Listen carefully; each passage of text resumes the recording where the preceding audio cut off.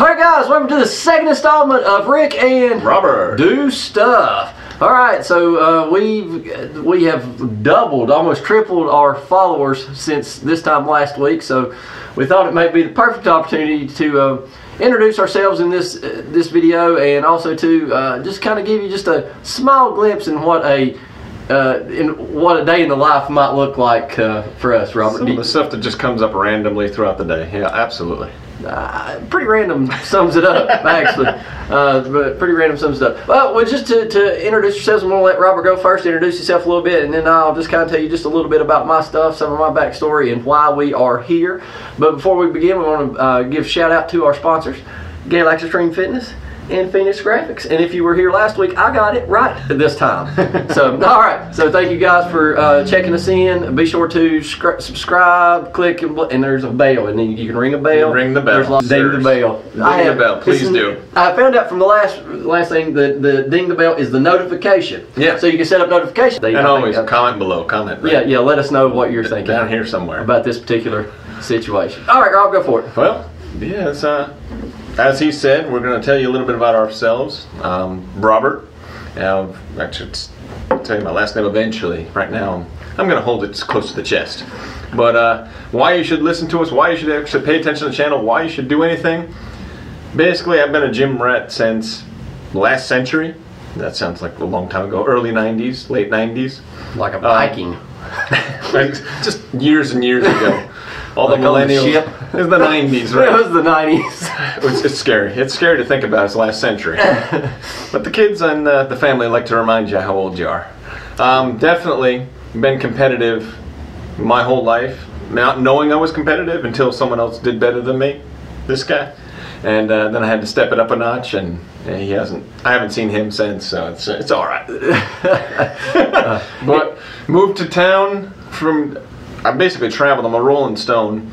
Grew up in upstate New York.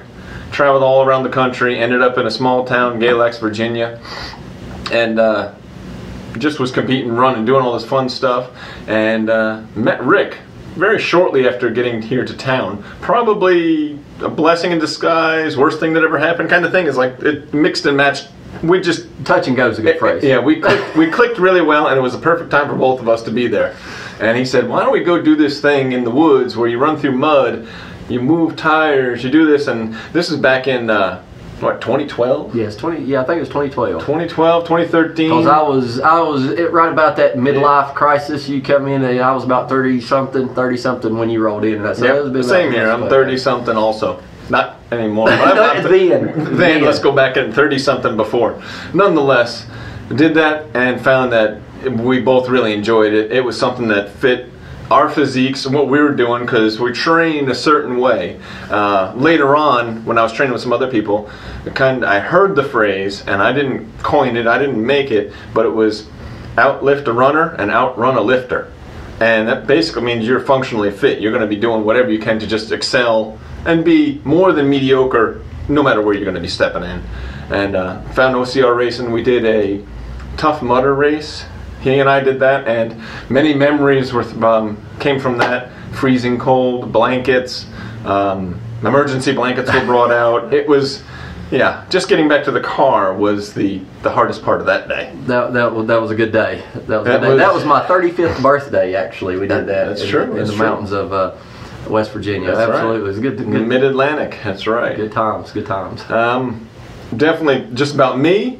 Uh, enjoy being pushed to the limit and pushing people to the, the limits they don't think they can do. So looking at the hidden potential someone has and just saying, I know it's there. Don't say you can't. Say, I'll get it next time or I'll get it time after that.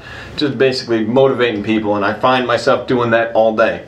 Just today at the gym, I dropped in, they're having a class and I couldn't stop myself from saying, hey, try this exercise this way or you're doing a great job try this just push them just uh, encouraging people i would say. Absolutely. stumble over my words a little bit too when i'm excited. And uh, we'll do that a lot on this channel. It's going to be great. Um, that being said i love the gym but i'm probably i've called myself the most unhealthy healthy person. Uh, i go to the gym a lot i exercise a lot i eat very badly. Um, I eat um, whatever's around at the time, at any time. So it could be fried food, it could be salads, it's whatever. Sometimes I get in a kick where it's all mac and cheese all the time, and that's yeah. Not a bad way to live. Yeah, yeah, it, it'll catch up to you later. But in a nutshell, that's who I am. Uh, we'll get into a little bit more, more backstory, some of the tomfoolery we done. Uh, I don't have your notes over here. Who you are? So who are you? Oh, okay. Well, uh, oh, d- to kind of just catch up with what Robert's going on, talking about the physical fitness and stuff, and uh, the things that we've done, uh, the way we cross paths. Actually, I started. Um, I was a high school athlete, played all the organized sports, uh, or the, the sports for me. I played golf, basketball, and tennis. I always enjoyed that. Had um, had you know, it wasn't great, but had pretty solid careers and definitely had a good time playing sports. Um, actually leaked into college a little bit, uh, you know, just played the intramural ball, stuff like that. Um, and as I got older, it kind of got away from me. And so uh, it, it's one thing led another, just kind of caught up. And um, by the age of about 29, doctor says, "Hey, Rick, you got to work on some stuff." And so I, you know, high blood pressure, you know, just got a lot of stuff going on. I was like, all right, so can I outrun it? And the doctor said, yeah. He said, if you, but you're going to have to stay at it and stay active. And so I did. At that at that time, I started um, running 5Ks, 10Ks, that type of stuff. Of course, I'm a type that gets bored very easily.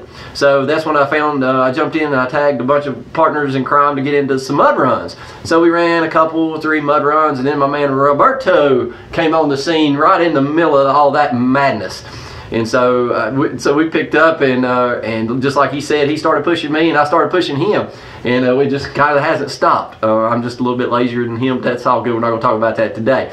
Uh, but so uh, we did the Tough Mudder, and then it kind of just, or we did the Goodwill Mud Run in yep, South yep. Carolina, which was down in Greenville, South Carolina. Yep. Then we picked up, and then we did the tough the Tough Mudder in West Virginia, and then it's just kind of been a free for all from there. Robert's done some of his own stuff. I've done some of my own stuff. I kind of got out of the mud for a little bit. Uh, I went into the uh, American Ninja Warrior spectrum. I will lead with I'm not a very good Ninja Warrior, but I've had a good time. And I've had a really, uh, I've met just a, a lot of people and it just within the community, and I, it's been something that I've been wanting to share. And so, yeah, uh, with that being said, I've done a lot of coaching, done a lot of teaching along the way, so it kind of just a natural fit for me uh, was to learn these skills and then pass them on to somebody else that could really be good with it and really use them. So, uh, so that's uh, that's kind of how this all thing got started, and we just pushing uh, pushing Robert, Robert pushing me back and forth. Um, and so that's kind of where we're at. Uh, push, push, pushed each other into creating a gym where we could push each other more. Absolutely, that was, that's crazy. We, we, did, and that's where the the, the gay uh, with, with, the Galax Extreme. I got the I got the side wrong where the Galax Extreme Fitness uh, was born, and we started with a basic. Uh, the deal was we really wanted to do something more like a Rocky type, uh, Rocky esque type gym, something that was just. Yep. It, it, didn't have to be fancy. It didn't have to be pretty. It was just a you got you went in, you trained hardcore, and you got the job done. And for us, yep. it has, and it's still standing for us. We still go. Uh, we've got a lot of other places that we travel, and a lot of places else we work at. Yep. But the, the, that mainstay is still there, and so that's uh, and uh, we if we ever got it, we ever, ever have to get back down to the basics, we know we can show up and put the work in there. So and we may drop in an old video from time to time of us being ridiculous over in a really small room. That's the, where it was. The word is sketchy, people. sketchy. We trained Safety's what, Robert? Safety's third. Safety is third when you come straight third. Come with us, but uh, but we always uh, but we always have a good time, and we always try to get uh, uh push um, each other, and that's one of the best things about it is come that's came out of this friendship is not only that, but also do we find ourselves in some of the most awkward, weird conversations, situations, but not in a creepy way but not in a creepy way. And this is and this is the segue to our to our show tonight, ladies and gentlemen. Is we were in a conversation earlier this week, and we it was a it was a legitimate conversation, and we're talking about something that we were going to do, and then the phrase following it was, but not in a creepy way. Yeah. All right. I don't know what that means for you guys, but just as soon as you say not in a creepy way, it automatically makes that situation creepy. creepy. Creepy. So uh, we, uh, it was just like, hey, hey, I'm coming, I'm coming to see you over at the store today, Robert. But nothing creepy. But nothing creepy. See, what is it? Hey, hey, dude. Your muscles are huge, man. You're in working out, but nothing creepy. Nothing creepy. See, it just doesn't. It doesn't fit, guys. No. And so, so we There's, went on this whole 15 minute tirade. Uh, about how and use this phrase in probably some forms that were appropriate and probably some that were a touch not. But it was a hilarious type situation. So Robert has come up with a list of things of other situations that you might find yourself in during your uh, you know during your work life or during your your, your social outings where you you run into these weird things that people say that are kind of like what And would you call it like backhanded comments It's off- backhanded comments. offhanded stuff and everybody does it. everybody's you got don't even one. realize you're doing all of a sudden you're saying something like uh, no offense but those jeans they're are they your daughters uh, or And he's talking to me, you and I'm like, no, and they're then, not. you the skinny jeans they just gotta go I'm into the dad jeans comfortable fit stuff but it's all good it's all good. Talking about my skinny jeans. Or you, you say something don't take this the wrong way. If the sentence starts out that way they're gonna take it the wrong way there's, no way to be nice about that. To be honest is another one of the good phrases. Let me can i be honest with you for a second? Yeah i can't hang out with you anymore. Whatever you say after to be honest and there's so many more it's like i start jumping on the googles and the googles they lead you down the, the certain stray path and uh, there's just a whole list. I mean there's to be honest if i were you if i were you i really wouldn't go down and do that or See, now, that's where I, that's where I say I said, Yeah. I will say if I were you, I was coming. I'm not telling you what to do, but here's what I would do. Yeah. And then that's kind of how I try to get into those conversations. Like I catch myself doing that often. I'm not saying I'm always right because I think I was wrong once in like 1995, but that was another that was decade. wrong one. That was I another thought I was decade wrong ones. I thought I was wrong runs. I was mistaken. Dad jokes, guys. Dad you jokes here a couple. for days. what was the one you said earlier tonight? Uh, you know what makes me throw up? Putting the dartboard on the ceiling. Really, dude? really? And I'm a. I got. I'm. This is this from the guy that got the dad joke book for Christmas. Okay, so I know. Like I, I know. They're out there, they're out That's horrible. Yeah. But- Did, didn't make it also. But- searching the Googles. Yeah. Uh, but yeah, I'm gonna throw, gonna throw these darts up in the air, but nothing creepy. No, but nothing creepy. You're Why you Searching the Google. searching the Google? creepy. nothing creepy. I'm searching the Google, but nothing creepy. Uh, so yeah, these are these are the things that you're you're going to see on this channel with the, the the back and forth and the banter as we come out with some a lot of different topics. We've got a list. Um, I've actually challenged Robert At to least three things long. At least. Yeah, at least it's- three. it's- and I've challenged Robert to a, a, a- like a meme duel. You understand? It's something else we do in our daily lives. If we're, if we're really talking about what we do here, folks, Yeah.